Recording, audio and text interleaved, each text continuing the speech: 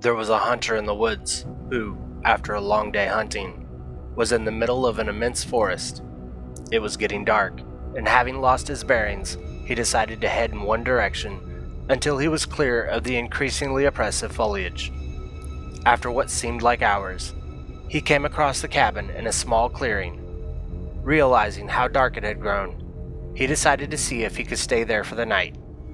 He approached and found the door ajar. Nobody was inside. The hunter flopped down on the single bed, deciding to explain himself to the owner in the morning.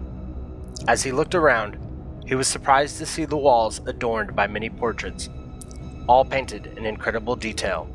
Without exception, they appeared to be staring down at him, their features twisted into looks of hatred. Staring back, he grew increasingly uncomfortable. Making a concerted effort to ignore the many hateful faces, he turned to face the wall, and exhausted, he fell into a restless sleep. Face down in an unfamiliar bed, he turned, blinking in unexpected sunlight. Looking up, he discovered that the cabin had no portraits, only windows. Thank you for making our way through the video. If you like this video, hit that like and subscribe button and give me your thoughts in the comments down below. And as always, until next time.